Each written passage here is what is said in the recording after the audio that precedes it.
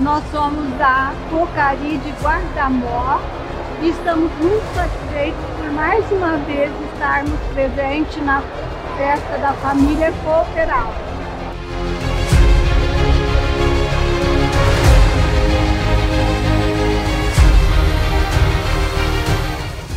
Sou cooperado da Cocari no São João da Aliança e reconheço a Cocari que eu cheguei para morar em Mandaguari em 1962. Foi na época da fundação, conheci os fundadores e daí quando eles veio para o Cerrado a gente procurou e estamos trabalhando juntos. É uma ótima cooperativa, tem, a gente tem feito um trabalho muito bom juntos.